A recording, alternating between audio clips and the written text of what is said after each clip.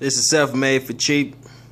Um, incubator from a refrigerator. We almost wrapped up here. Uh, last night I got everything wired. We are working on this incubator, just this one side. And if you guys been keeping up, you know what's going on.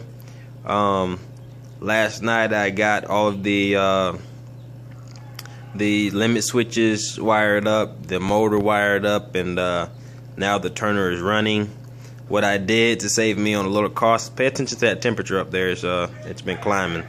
But um, what I did is I wired it to the uh, control panel for the original incubator, which is this one. I used the same set of uh, timers, so I didn't have to buy more. And I just added two more limit switches. This is the limit switches I mean, not limit switches. Two more relay switches. These are relays, not limits. Um, I added two more. These two are for the first incubator. This one here. Oh, that's my daughter. My daughter did that. Well, that's my daughter made this. Um, anyways, uh, but the second two um, relay switches uh, is for the new incubator I made. So basically how that works is they connect here, which, you know, I need to make this look nicer. But um, basically how it works when the timer kicks on, it's going to turn both uh, turners at the same time. That uh, That's going to kick on in about a minute 15 seconds um, or less. So uh, I think I'm going to pause it so when it starts turning, uh, you can see you can see them turn. Like I said before I got quail eggs in this one. I got a turkey a couple turkey eggs at the top and a couple uh, Barred Rock eggs. You'll you'll see the uh, turkey turkey eggs once the um, turner turns downwards. And then this incubator there's nothing. It's just running doing test runs and make sure it's going to hold temperature good which it is you see it's already 100 degrees it kicked off. Um, but yeah I think this is green light we're all good. And we just have about 20 seconds that they're going to kick on. I've been working on this one. I've been working on this it's going to be my lockdown. Uh, so I'm going to do that with you. Nine seconds they're going to kick on. And they're going down so you'll see this red light come on indicating that this uh, timer is on. Up there it goes. See him going down.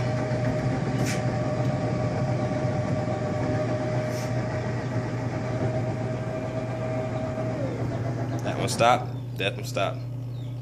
See? They both stopped. Because they hit the little uh, limit switch on the side. You see the timer still on because it, it only comes on in one minute intervals. That's as short as you can make it is uh, one minute. So the limit switches stop the power from going to the motors.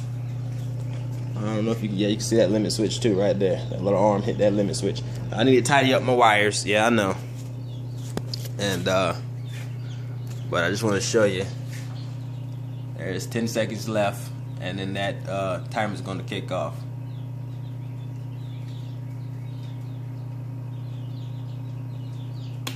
There you go. You see it kick off. And if you heard that click, that's the limit switches.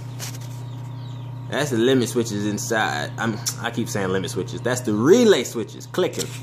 Because if you can if you can see uh, inside this limit switch, there's a uh, a carp a copper piece on this side and there's a copper piece on this side and then there's a little lever in the middle well, what happens is when it gets power, it clicks that little lever over to the right side, which is connected to these wires here, and feeds the power to the um, to the motors.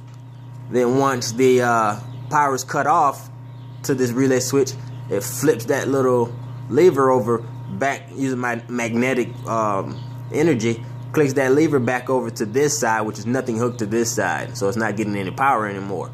Um, the reason you need your relay switches is because you have to you have to. There's only two wires coming out of the drill motor, so basically you have to cross the wires in order to make it go in forward and reverse. You have to cross the wires, so so that the the um the power don't feed back and, and, and short itself out you use these relay wires, I mean these relay switches, and these relay switches stop the um, power from going through the current.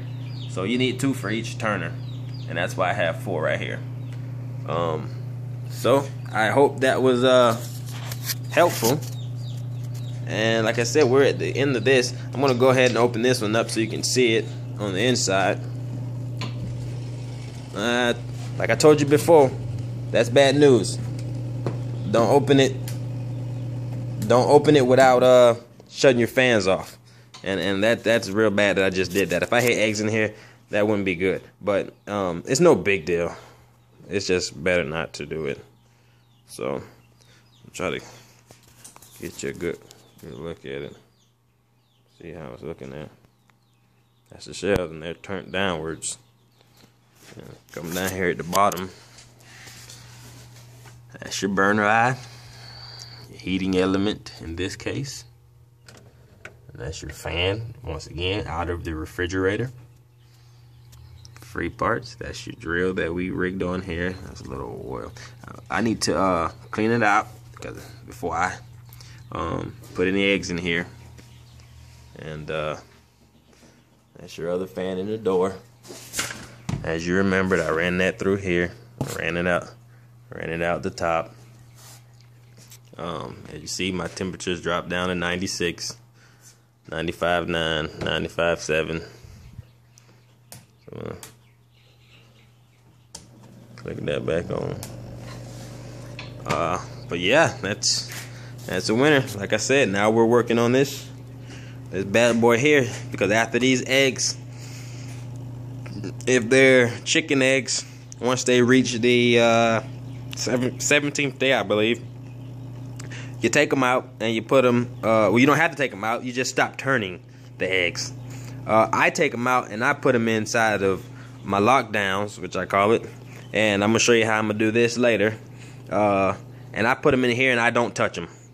So that way, if I had eggs in here that's ready to come out, ready to stop being turning, and I have eggs that still need to be turned, I can take them out, put them in here, and I won't touch them for three days. That third day, then I'll go in there and I'll take all the chicks that hatched out and all the ones that hadn't hatched. Um, they get they get uh taken to the back and uh, thrown away. Actually, I put them in my compost pile back in the back. So, uh, hopefully, I've covered everything for you. If not, uh, send me a message and I'll do my best to um, answer that question for you. Once again, this is uh, self-made for cheap. We just made an incubator, and uh, man, it's it's cheaper than buying one at the store. That's for sure. That only holds about 40 something eggs.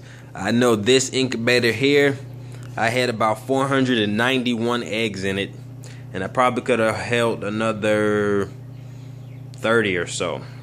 So you're getting a little over 500 eggs, and that's chicken eggs. So you're getting over 500 chicken eggs in one of these, um, and that that's amazing if you ask me. Uh, and I have two of them now, so I can I can hatch about a thousand eggs at a time. Um, quail eggs, of course, you're gonna get way more quail eggs in there than chicken eggs if you uh, make special trays for them. Uh, so appreciate you for watching. Appreciate you for hanging in. Appreciate you for being patient. Uh, once again, self-made for cheap.